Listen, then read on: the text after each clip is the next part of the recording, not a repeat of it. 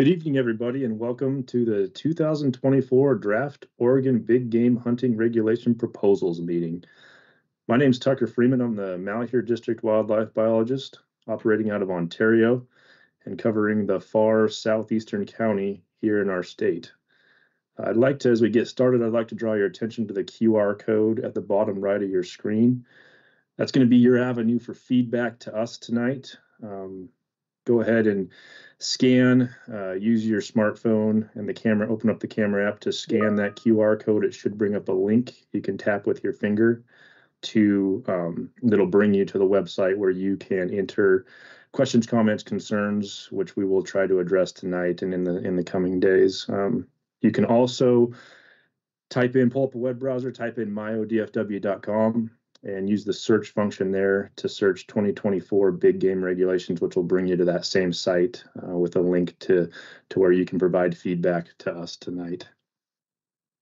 We are covering tonight, we're going to cover the central and southeast Oregon region, what used to be referred to as the, the high desert region. Um, the wildlife management units listed there on your screen are what we're going to talk about as far as our specific tag proposal changes and regulation changes tonight. Um, we will cover a couple statewide topics uh, here here in the introduction, but the meat and potatoes of, of our of our changes and our specifics are going to be applic applicable to those units you see on your screen. If for some reason that's not what you're looking for, I'd advise you to, to go back to myodfw.com, search those 2024 big game regulations, and on that site, we have recordings of prior webinars that cover different areas of the state, and then any any others that are going to take place um, the rest of this week should be posted by this week if you need to look there for for an area other than this that you're looking for. Um, but these units comprise what are the Mid Columbia, Deschutes, Ochoco, Klamath, Lake, Harney, and Malheur districts. We've got representatives here tonight um, to address questions and, and take us through this this presentation. I'll give you a brief outline of what we're looking at for the night. Um, I'm going to take the first 10, 15 minutes, go over the, the regulation setting process. I'm going to cover a couple statewide top or statewide topics that we felt would be would be relevant at that level to everybody. Um, then we're going to break down and, and, get into our specific uh, tag allocation changes and regulation changes uh, specific to this central and southeast Oregon region. Um, Greg Jackle is going to cover deer and elk uh, after after me, and then he's going to pass it over to John Meir for bighorn sheep, mountain goat, black bear, and pronghorn changes for the region. Um, so if at any point, again, there's the QR code on the right of your screen. Any at any point from now until we shut this thing down, you all are welcome to to bring questions, comments, concerns to us. Uh, following kind of our preset presentation uh, with with me, Greg, and John, that should take oh 50 60 minutes uh, somewhere in that area. The rest of the time we're going to spend in basically in a q&a session uh, addressing uh, feedback that we get from you throughout the night. So again use that qr code uh, utilize myodfw.com to get those in. Our, our pr folks are going to be sorting those and assigning representatives throughout the night to, to try to get to you. If we don't get to them which we probably won't get to them all tonight um, we are committing to try to, to respond to all all of your feedback within a couple days, uh, certainly by the end of this week, uh, if at all possible on our end. So feel free to, to send that, that feedback our way. I'll go ahead and get started with my piece here. Um, talk about the regulation setting process a little bit. Nothing's changed this year in what uh, in what has happened in the past. Typically, we run these July public meetings, which is what this is serving as. Um, we utilize those to, to, to to get feedback from from the public. Um, we we then take the next couple months to review that feedback, incorporate it into our proposal, change them as necessary, get them packaged up for the for adoption by the commission in September. Uh, this year's meeting is set for September 15th in Bend. Um, that's where these these should go to the floor and hopefully get adopted. Um, we will so so two different types of feedback really here that we're discussing. One is coming from you all tonight, uh, which will go forward. We will put it in some sort of written format uh, to the commission prior to that meeting.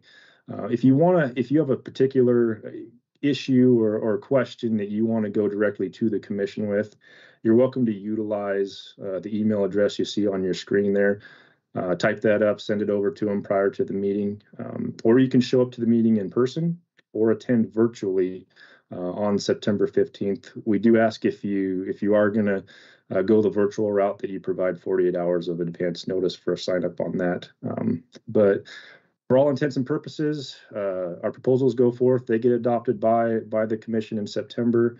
Um, then we've got a couple months to put the pamphlet together, get ad set, get design set, get everything printed out, and we should have uh, we should have that pamphlet out by December of this year for the upcoming 2024 hunting season. I'm going to talk about a couple statewide topics now. Um, the first couple are really just um, prior hunts that we've started or or a regulation change, major regulation change that, that, actually both of them we adopted in, in 2020 and went in place for that year. Um, at the time that we made those changes, we committed to a three-year review on them. So we're going to go ahead and provide that data. Uh, we feel like it's it's not necessarily trend indicating, but it is three years of data and, and it is worthwhile. And we're going to gonna gonna review that with you tonight. Um, the first is the general season antlerless elk damage tag. Um, I need to give a probably to, to go into this. I need to give a quick primer on elk damage uh, across the state and, and in, in, in Eastern Oregon. Um, so it's a it's it's a problem that becomes chronic and and it, it causes a lot of headache, a lot of extra hassle for for a lot of different folks. Um, basically, you have elk anywhere from from August through, depending on the winter, through you know possibly the end of March. Come down from the high country, get down onto farmed fields, whether they're whether their forage is drying up in the summer or whether they're getting pushed down by snow. They get into fields and, and irrigation and they they eat crops, they get into haystacks, they trample fields, run through fences, cause a variety of problems um, that landowners have to deal with, and that landowners then have to put through our ODFW damage process is basically on an individual basis, um, year in, year out. Causes a lot of work for landowners, causes a lot of work for us as we explore, uh, do things like explore non-lethal options. Um, we document and have to close out each each individual complaint, um, and we oftentimes end up issuing damage tags. Uh, have to follow those up on an individual basis. Um, it can be a public perception issue when you get to where you're you're killing elk in what looks to be outside of a of a normal season, and sometimes doing it, you know, in and around livestock, in and around residences, um, and and and that type of thing. So so really, if you can reduce damage, you can you can reduce a lot of hassle with with a lot of different folks and and cure some headaches there. So that's what this hunt was really intended to do um, was to offer some extended seasons, four to eight month seasons um, in areas that, that experienced chronic damage and where you had some landowner buy-in to let some members of the public out out and try to try to get after and hunt some cows. Um, really, the idea is to apply that pressure over that that extended season, keep after those elk, potentially harvest a few more elk, and really really get the message across to the elk that you know if they spend that's not a place they're going to want to spend a lot of time. Um, they're going to get harassed, they're going to get hunted, they're potentially going to get harvested. So um, that was really the intent of of this of this new hunt. Uh, we've had three years data on it, and you can see it's it's been successful in in those um, as far as those those those parameters. We have reduced, you know, since it was incorporated in 2020, we've reduced the number of cow elk killed specifically on damage tags, which means we're issuing less damage tags and dealing with less damage, um, doing less work there, which is which is good. Um, we're also we're also harvesting a considerable amount more of antlerless elk in those areas where you have uh, historical historical elk, elk damage. Um, so we're really accomplishing objectives with that that hunt as of right now and, and plan to keep it in place moving forward. Uh, we look we, we may look to expand it on a case by case basis in areas where that aren't currently enrolled in the program or where we get um, and where we get landowner buy-in as far as, as giving some members of the public access to their lands to, to address some of that damage The other hunt concept we wanted to talk about was the inclusion of spike deer in the in the uh, Western Oregon bag limit. Uh, this happened in 2020. It happened in concert with uh, with sp- the spike uh, spikes being removed from the 600 series antlerless uh, bag limit at that time. And really, the concern going into it was you're going to start knocking out a bunch of spike and you're going to take all the males out of your population to where you're not going to have those those larger age class deer available to harvest in the in the successive years. Um, it's only three years of data right now but we're showing that that's not happening. Yes we are killing quite a few more spikes uh, from 2020 on than we did before but um, we're actually seeing a little bit of an increase in in killing those or in harvesting those uh, more mature deer in those larger antler point classes. So, so the plan for this is to keep it as is as of right now. We will continue to monitor um, and we'll adapt as necessary if, if we see a deviation from this data in any significant way. But um, that's what we're seeing for the first three years of it. Now, the last statewide update we wanted to, to include uh, was the mule deer plan update. Um, it's a pretty big undertaking for ODFW uh, something we've been putting uh, a lot of time and effort into and preparing for in, in, the last five to 10 years and in terms of research and extra adding personnel capacity.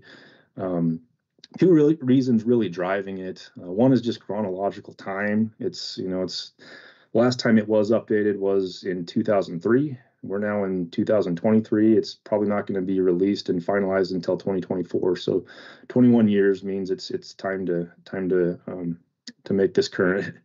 Um, the other reason is really, you know, as most people on this webinar tonight know, the status of mule deer has changed uh, in Oregon since 2003. Um, it's, it's, changed in a lot of ways, and it's really time to to align in writing a management plan that uh, that matches up with what we're seeing on the ground in terms of uh, status or the status of the species and population trends and habitat conditions, extended drought conditions in some areas, um, as well as management strategies that we're implementing and, and looking to enact into the future for the best of mule deer. Um, so that's what we're trying to encapsulate in this revision. At this point, we've released five of 12 chapters. The plan is to have the remaining seven done by October of this year. Um, we've held a couple web informational webinars on what has been released. There will likely be a couple more coming. I would definitely encourage you all to check out the website at the bottom of the screen. That's that's your source for all things mule deer plan update in Oregon. Um, it has PDFs of the the release chapters. It has recordings of those uh, of those webinars, variety of other information. That's also your um, that's your avenue to provide public feedback, which we've been accepting since we've released the first chapter here this winter. And we'll continue to do so until we release the last chapter for probably a couple weeks after we release that last chapter here this fall. Um, at that point, the timeline is such that hopefully this fall we wrap up public comment and an initial draft release. Then we'll look to review those comments, incorporate them, edit the document, and get it get it into a state that a more or less final state that can go before the commission. Um, the plan for that would be be in February to March of 2024, and hopefully it's in a state that can be adopted and and the plan can be finalized at that point. I'll start to move out of the state. Well, this is still statewide stuff. Um, we'll start to move into some of our changes for for the 2024 season specifically. Uh, on your screen are are your main seasons um, set for or proposed for 2024. Uh, I just ask that you bear in mind um, that the framework for our season setting changed in 2020. Uh, at that point, we decided we would base all seasons off of the opener of of any legal weapon buck deer, which we set at the time to be the first Saturday in October. Uh, what that means is that you're not going to have the exact hard coded same hard coded dates year in year out as you had the year before. You're going to see some fluctuations of a day or two uh, between the years. Actually in 2023 um, we've seen the biggest shift. We've seen this it was like a six day shift um, later than what the seasons had been in the past. That is the the biggest that's the latest you'll see seasons it should start drawing or kind of um, moving back incrementally in the years to come. I think in 24, it's it's set to move back two days from what you're seeing for seasons this year. But those are the proposed season dates for for 2024. Um, last little bit on on statewide, the statewide impact of our 24 proposed changes compared to 23. Um, you look at our four species that we allocate the by far the most tags to um, deer, elk, pronghorn, and bear. There's very little change from 23 to 24. You're looking at um, you're looking at an interval of plus or minus one percent on all of those. Um, you do see a little bit more of an impact on mountain goat and bighorn. Mountain goat, you've got so few that we allocate statewide. Yeah, we're dropping two, and it's it's a nine percent difference um, from 24 to 23.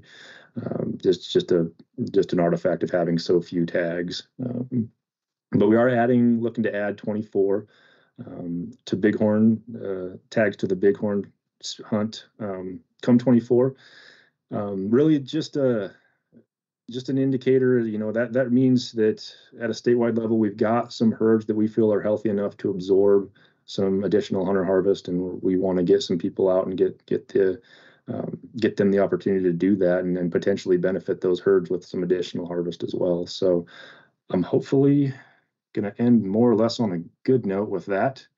Um, I'll transfer over to our, our specific um, tag allocation proposals and regulation changes. Uh, we're going to start with deer and elk and Greg Jackle, if you're ready, Greg. Yeah, thanks, Tucker. Um, so my name is Greg Jackle. I'm the district wildlife biologist here in Prineville, so Central Oregon. Um, tonight, thanks thanks everyone for joining in. Um, this is a, a really good opportunity for folks to to provide us some good questions and and for us to provide you with information about um, kind of the status of our of our big game populations. Um, I don't I don't see the slide next, uh, Tucker. If you can transfer slides. Perfect. so I'm going to be going over the major changes to the mule deer and elk hunting tag proposals for 2024. And just as a reminder, everyone, all the districts um, have representation on this call. So if there's any like specific question that anybody has um, to tag tag numbers, population levels, or anything like that, you know, pl- pl- please, uh, you know, use the QR code to send in a question. Um, I think there's also a link you can you can click that link and, and ship us a question. We'll have probably plenty of time at the end to to answer as many questions that come in. Um, what I wanted to start with first off is just kind of give a general overview of kind of our weather, um, our winter and our spring that we've had the last year. Kind of kind of precedes some of this talk. You know, we do a lot of our surveys in the in the in the fall and winter leading up to setting tags. Um, used to do it a year in advance. Now we're doing it kind of two years in advance. So kind of tough to look at that crystal ball. But um, you know, this winter from the Dalles south, you know, to to Bend and Prineville, didn't have a very tough winter. We had kind of a pretty mild winter, other than a, a little bit of a snow event in November. Um, that being said, you know, Burns, Lakeview, some of Malheur County, they they had the storms kind of avoid us and they they got dumped with some snow. So Burns had pretty significant snows this winter, pretty good cold temperatures. The the biologist there feels like the animals at least escape most of the the major um, critical time periods of, of heavy snow. It's not like we had you know some of the situations that were occurring in Wyoming this winter. Some of the winter ranges were still open and those animals were utilizing it. Um, pretty consistent with all the districts was a, a was a long, cold, and wet spring, which is kind of what we really needed. And if you look at this, um, look at this slide, it pulled this off the U.S. Drought Monitor, and basically it's a snapshot in time from last July and then to current July. Um, we're hopefully clawing our, clawing our way out of this drought condition that we've been in for the last three or more years, depending on where you're at. But if you look at, you know, Central Oregon, you know, we were in the extreme red and then most of the red in the rest of the district. So, um, you know, this spring we had water everywhere. We still have water in a lot of places in the desert. Prineville Reservoir's full, Ochoco Reservoir's full. So we're hoping that this carries over into the future and that we start seeing a, a trend in, in better moisture conditions um, in Eastern Oregon and actually the whole state. Um, next slide, Tucker. So basically, I'm going to start. I'm going to. I'm going to start with uh, mule deer, and I'm basically to start from the kind of the top of the state and work my way south and, and basically east. And so we're going to start in the Mid Columbia district, um, and I'm going to kind of just go through you know, basically the major tag changes and any new hunts that were proposed. And so we're going to start there and kind of work our way south and do the same thing for elk. Um, so we'll just get started with the Maupin unit. Uh, biologists there, you know, are going to propose a, a, slight increase in tags from 400 to 430. Um, and that's, you know, because buck ratios in that unit have been increasing for the last five years. Um, and, and that's, and let me, let me just back up a little bit. So that's the 140, that's the any legal weapon uh, Maupin hunt, which, as most people know, it's kind of the rifle season. That's kind of what we call it, and we kind of switched our terminology last few years ago. So, whenever I say any legal weapon, that's kind of that traditional rifle season, which is that first week of October. And then I'll obviously talk about bow seasons, and then we'll we'll have some have some discussion about some doe hunts and cow hunts when we get to elk. But but if you drop the White River, um, they haven't been at buck ratio for the last five years, so they're looking to trim tags um, any legal weapon, they're looking at reducing tags by 150 for the any legal weapon hunt, and then 50 tags for the bow season. And that's kind of just done to kind of look at the harvest, um, kind of make it equitable amongst the harvest in that in that in those in that unit. Um, and then the hood units looking looking better population wise. So we've you know kind of done a modest increase from 450 to 500. You know, 50 tag increase for the any legal weapon, and then um, basically the 642 hood. It's an antlerless hunt. This is the only antlerless hunt I'm going to talk about tonight. We, are basically only recommending a very modest five tag increase to uh, to an antlerless deer tag, and that just kind of shows you like we're not really hunting does, you know, at all in Eastern Oregon. Only in very min- minor places where we have, you know, kind of elk or where we have uh, agricultural damage, and so that's really the only one we're going to talk about tonight so dropping down to the Ochoco district, my district, um, we're proposing a tag decrease in the Ochoco any legal weapon unit from um, 20,000 or 2050 to 1950, so 100 tag decrease. And then for the for both of the Ochoco and the Grizzly bow tags or bow hunts, um, we're looking at reducing 100 tags there. Um, reason rationale for that, Ochoco has been chronically low population. We're about 20% of MO. Um, our buck ratio is fairly stable, but but our numbers of, of, of deer are not there, and we're coming out of that mega drought, as you can see. So we're just kind of trying to trim tags and, and make it a, and also our, our success rate's dipping below 20%. And so we're just trying to bring that success rate above 20% for uh, for any legal weapon um, um, rifle, uh, any legal weapon tag. for for the bow hunts, we're basically just looking at the demand for those tags has not, you know, the folks may draw that second, third choice, but our harvest survey uh, results are showing that folks are just not going. And so we're kind of just trimming tags down to account for that. The next slide, Tucker. So we'll go down to the Klamath district. Um, both of their changes are looking at for the interstate unit. Um, as most on this call know, you know, the interstate unit has had multiple major fires um, recently, and hopefully interstate is not one of the fires that's burning right now near Klamath County, but um, that unit's seen over 700,000 acres of its summer range um, decreased by wildfire over the last four years, or actually the last five years. So they're seeing, you know, um, chronically low fawns, chronic uh, fawn ratio, and chronically low buck ratios, to where they need we need to see some cuts, and and we're hopeful um, like we see in most fire conditions on some ranges, that that habitat restores itself to some of that um, early successional forage that is very good for deer, but they just have not seen that on the ground yet. Um, the lack of moisture, uh, growing conditions have been very tough. So um, they're looking to reduce tags by 150 in any legal weapon and 70 in the archery. Um, the Lake District is proposing tag reductions in both the North Warner and the South Warner. So reducing tags by five in both of the North Warner rifle or any legal weapon and bow bow seasons, and then uh, 30 and 15 in the South Warner.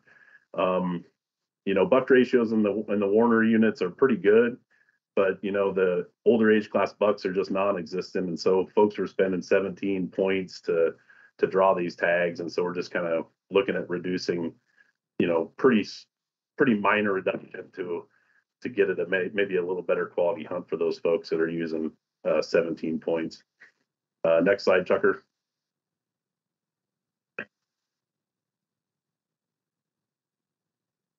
And then finishing up with deer, we're going to go to Harney and, and the Malheur district, and they've actually seen, you know, a little bit more uh, positive response in some of their population surveys for mule deer. So they're looking at increasing um, uh, any legal weapon tags in most of their units. So Malheur River looking at increase. It's a modest increase of 50 tags. Uh, Trout Creek Mountains uh, increase of five. Uh, the Beulah increase of 100 and the Owyhee increase of 25. So they're seeing, you know, population response, uh, a little bit better buck ratios in those units. And um, they're also proposing a youth hunt, a couple, a couple more youth hunts that I'll talk about later. Um, so that's, that's good for deer. Next slide, Tucker. okay, so going back to elk and then starting from the mid sea and, and working our way south.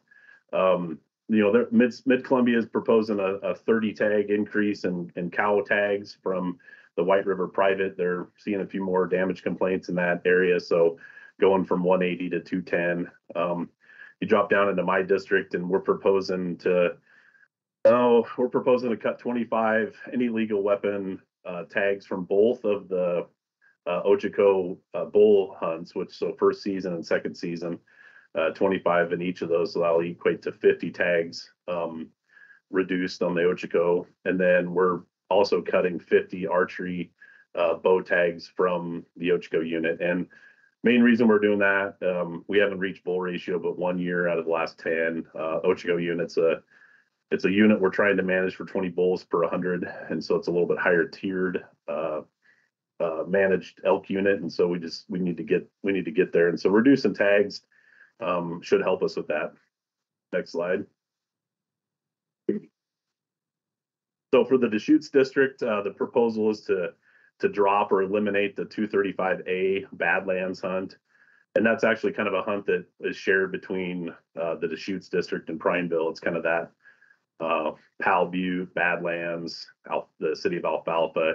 Used to have a fair amount of damage in some of those alpha, alfalfa fields well, last year there was zero percent success, and folks are spending you know two or three points to draw this tag. Um, we're not seeing the damage complaints that we used to, and so we're just uh, proposing to delete the hunt. Um, we can address those damage concerns with other ways. Uh, the Klamath District, um, going back to the interstate unit, similar to deer, um, you know, with all those fires, you know, reducing the amount of cover they're seeing some reductions in their bull ratios, and so they're looking to trim tags from 250 to 200, just to you know try to improve that bull ratio where the you know those these mega fires have reduced the canopy cover and and make basically made the bull escapement very tough. Um, next slide. All right, going to the Harney district uh, for elk, and um, we'll kind of start off with the Silvies unit. So uh, biologists are proposing a fair amount of cuts in the Silvies, um, decreasing tags for the any any legal weapon bull one and two by by 75. So 40 in the first season, 35 in the second. Um, 100 cow tags in that unit, and then uh, 25 tags in that kind of that North Silvies, uh, North Juniper Silvies cow hunt.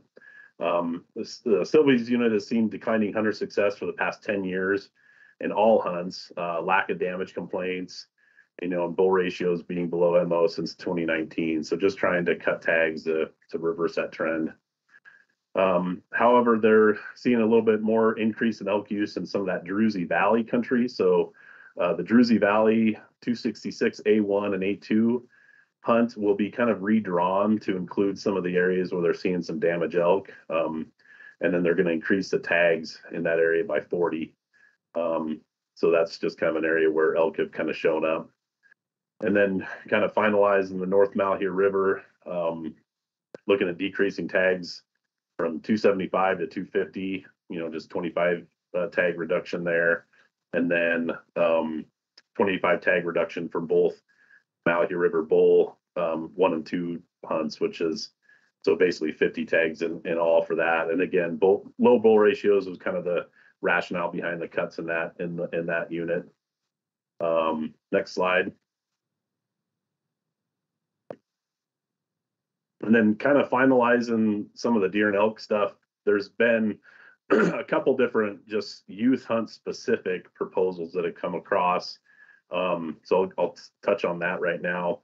So the Warner and the Interstate Youth Deer tags, so the 174T and the 175T, uh, they're going to propose a change the bag limit from one deer to one buck, and basically that's to kind of make um, all the youth hunts in the 100 series all consistent, right? The, it's all going to have the consistent same bag limit. Won't be a one deer bag limit. Um, and quite frankly, there's just not a lot of does to, you know, to allow folks to be shooting in Eastern Oregon. And so just trying to protect as many does as we can in some of these areas where we're trying to squeeze out recovery for mule deer. Um, what's kind of cool is there's proposals for five uh, new youth buck hunts um, in the Steens, Juniper, Malheur River, Beulah, and Silvies units. Um, so basically, that's going to be a 20 tags in each of those units. Uh, the season starts five days prior to the any legal weapon season, and it runs to the end of that season. So it kind of gives the kids a five day head start um, over their parents or over their brothers or whatever to to be able to go out and hunt deer um, just trying to get some more opportunity for kids to get out there and and be able to um, you know harvest their first deer. So with elk, um, kind of a couple changes there. The 241T um, basically increased tags in the White River Hood youth from from 30 to 40, so just a 10 tag increase there. And then um, for the interstate Silver Lake youth, they added the interstate unit to the Silver Lake youth hunt, kind of combining it. I guess it's, I guess technically it's a new hunt, but you're just combining the interstate unit to the Silver Lake. And then they've been basically increased it by five tags. So it went from 15 to 20. Um, next slide. And then to finalize stuff for me, um, I just wanted to give everyone a kind of just a reminder um, we did a travel management change last year, 2023. It went through this same process, solicited comment, went to the commission, got approved, got adopted. Um, did the same exact process with the Forest Service, um, the Ochoco National Forest. They approved, they approved this, and so we're basically um, implementing it right now as a you know starting in here in a in about a month.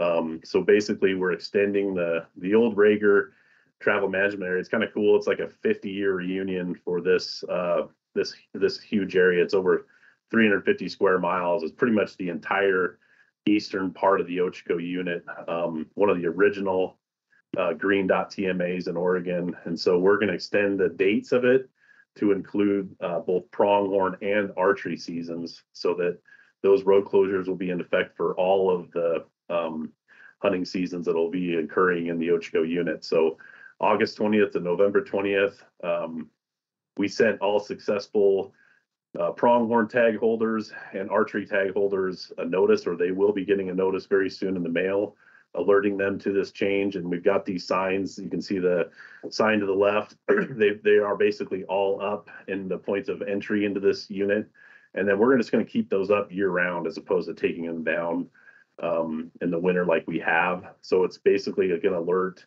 mushroom pickers, uh, you know, woodcutters, people that are recreating on the forest that aren't hunters, that this is an area that there's extended road closures during this time period.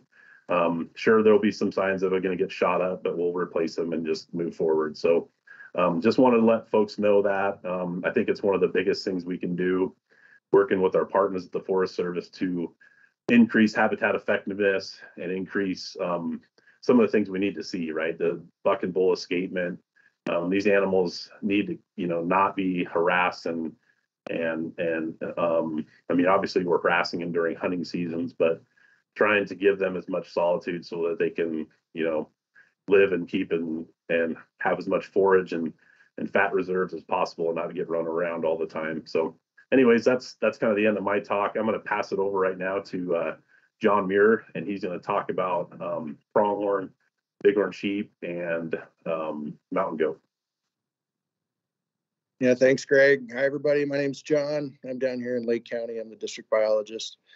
And we are here to finish up our presentations with some pronghorn, bighorn sheep, and, and black bear changes.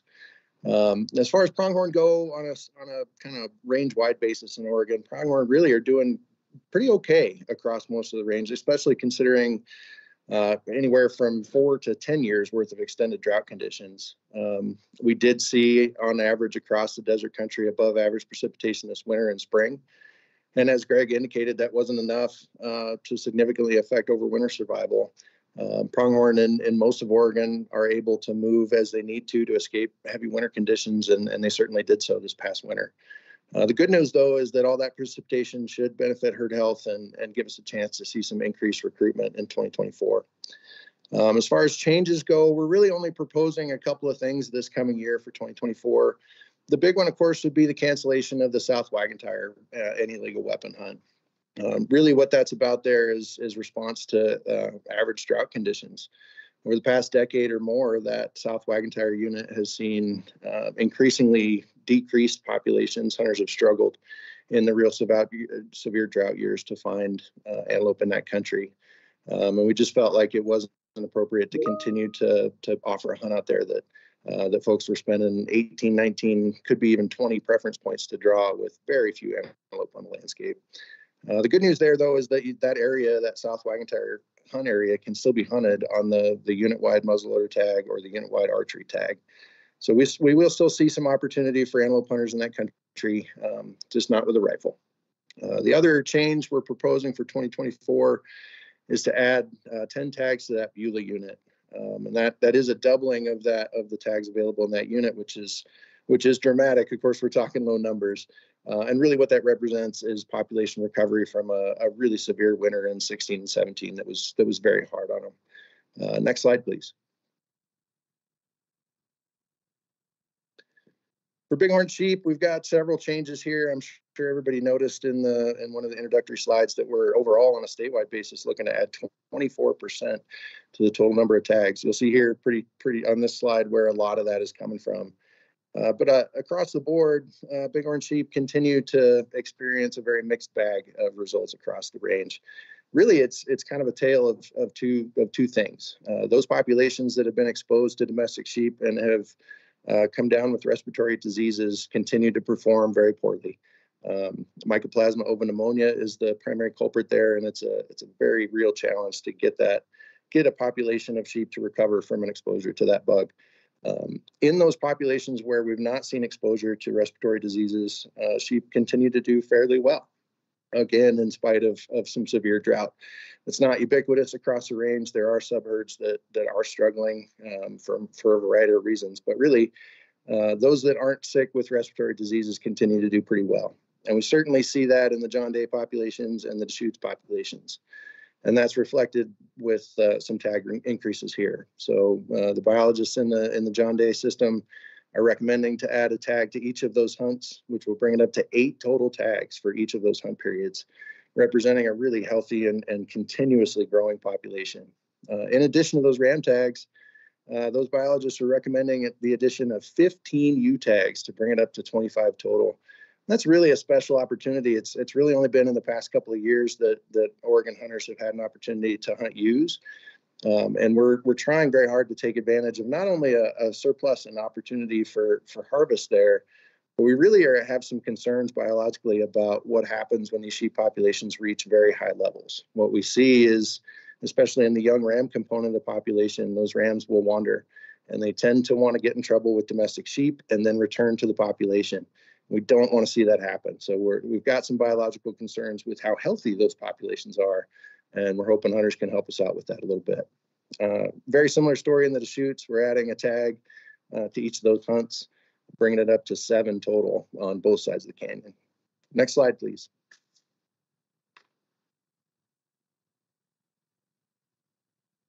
And here we see at the top of this slide the, the remainder of the reason for the dramatic increase in bighorn hunting opportunity. Uh, again, due to population concerns uh, at the high end, we're, we're nervous about those sheep wandering. And so we're gonna we're proposing to add eight tags for a total of 15 in that Deschutes population. Again, asking the hunters to help us out a little bit there. Um, moving down into my country a little a little more here, that south central number two hunt, we're gonna propose to add one tag there That's purely a reflection of the number of mature rams that, that we've been observing in surveys over the past couple of years. Uh, we see an opportunity there and a couple of those herds that have uh, seem to have, have kind of escaped cougar predation for a moment are, are producing some nice rams. And so we're going to offer that opportunity. Uh, basically, a similar story with Riverside. An addition of one tag there brings it up to two. That herd has been recovering over the past, oh, I'd say six or eight years. And we just returned to hunting that population a year or two ago. And so we continue to see that herd recover well. And we're trying to add some extra opportunity there. Next slide, please. Of course, in the, the old high desert region, we don't have any mountain goat hunts, uh, though we do have a population of mountain goats as a result of a reintroduction into the Cascades uh, centered around Mount Jefferson. That population has continued to perform fairly well or is at least stabilizing. Uh, there was some some concern for sure around the 2021 Lionshead fire, um, but those those mountain goats have essentially seemed to have escaped dramatic impacts from the fire and are now starting to feed in that burn scar, which is great to see. Uh, in terms of black bear, we've only got one proposed change for the controlled hunt program in this part of the world. Uh, we're looking to add 50 tags and to go from 450 to 500 total tags for that south central uh, spring black bear hunt. And that's purely a reflection of a of an increasing population, a population that's been increasing for something like 25 or 30 years. Um, we continue to see very, very low harvest rates in that south central spring hunt, uh, but certainly see the evidence for, for plenty of opportunity. Um, next slide, please. With that, I'll hand it back to Tucker. Thanks everybody for coming. Thank you, John. So that more or less concludes our preset presentation portion of the meeting tonight. Um, once again, I'll just just set out the reminder uh, to utilize that QR code to continue to provide us feedback or, or ask questions.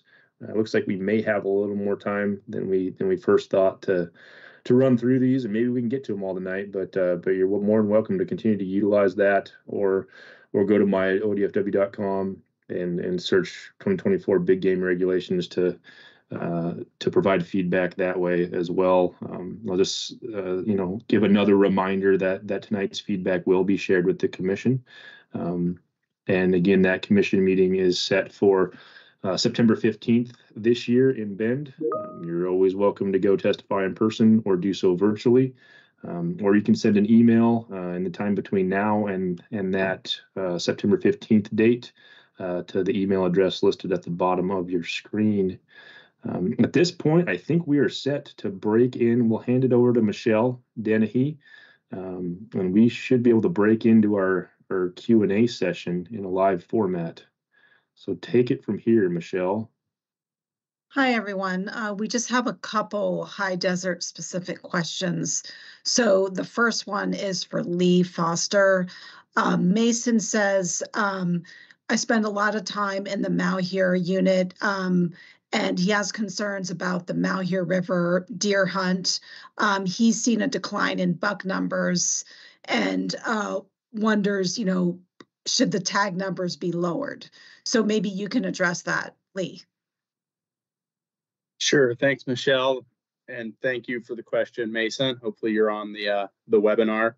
Um, yeah, so we've got a few things going on with Malheur River, um, you know, that are that are not necessarily unique, but specific to that area. Um, the most recent factor affecting that herd um, was the winter of 1617 uh, that John mentioned, alluded to in in relation to some pronghorn numbers. Um, during that winter, we saw, you know, 30% of our adults die, essentially all of our fawns. Um, and the population as a whole crashed pretty hard. Um, you know, since that time, we figured that that the population in Malheur Rivers is now about a 33% or so lower than it was before that winter. Um, however, you know, we take all that into account when we're setting tags. So at, across the same time period, we've reduced tags by more than 40%, um, rifle tags by more than 40%. So you know, with those reductions in rifle tags and with the shift to um, to controlled archery in that unit, we've seen harvest decline quite a bit, um, and our buck ratios actually come up to uh, to you know well above management objective. Um, our management objective for the unit's 15. At the same time, too, we've also seen our uh, hunter success numbers come up quite a bit too since uh, the winter 16-17. We're now back up to close to 50% hunter success in the unit as of last year, which is, you know, about where it was in 2010. So, you know, there the total herd health in the unit isn't stellar, but we're managing to, you know, maintain our buck ratios and our hunter success, which allows us to, you know, allow a little bit more opportunity. Thank you. Okay, thank you, Lee. Now here's a question about the Fort Rock unit from Bryant. Um, he hunts that unit uh, and he's noticed a decline in deer populations, especially buck. Is there any talk of changing allocated tags? So this could be for any of the biologists that deal with the Fort Rock unit, maybe John or Tom. Yeah, I'd be I'd be happy to answer that, Michelle. Um, the Fort Rock unit is a challenging one uh, for sure. Um, that's a unit where we've seen some really dramatic changes in terms of what the hunters experience in early October, especially in that in that any any legal weapon season. Um, and of course, you know, as we're talking about mule deer, as we all know and we've discussed, that populations continue to decline across the board uh, in most units, and we certainly see that in Fort Rock as well. Uh, I attribute most of the lack of hunter success, honestly, to to forest conditions uh, and the lack of visibility. I think that's a unit where we see a lot of a lot of family tradition, a lot of a lot of folks returning year after year to the same spot. And I think as folks look back on pictures that that may be, be in the file cabinet somewhere of grandpa or or even even mom and dad uh, a generation ago hunting that country, it looked very different. Um, uh, forest management has changed dramatically in the last several decades, and it's had a very real effect on um, not only habitat conditions and, and growing deer, but but what a hunter experiences in terms of being able to find them. Uh, I hope that helps answer the question a little bit. Thanks for thanks for sending it. Okay, thank you, John. Now, a number of our other questions are more general in nature, not specific to the high desert, but Tucker, maybe you can help with this one. Lance says, um, I would like to see crossbow use legal for disabled people that can't draw a bow anymore. And we've got some history with crossbows and our commission, so maybe you can talk about that. Yeah. So so briefly, you know, we do offer a draw lock option for compound bows for for people with disabilities.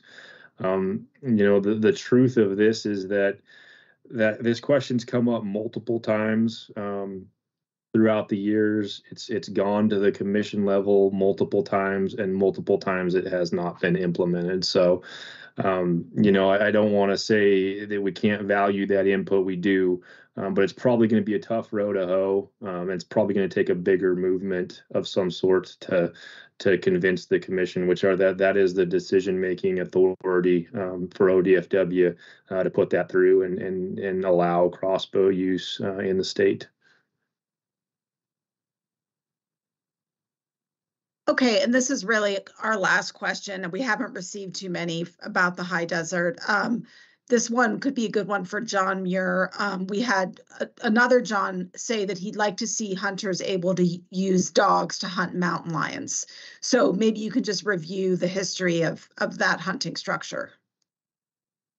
Yeah, thanks for that question, John. It's it's something that we think about a lot as managers. It's something that we all think about as hunters. It's it's a question that we get a lot. And I think really the the way to the way to begin to understand where we're at is to back up a little in time.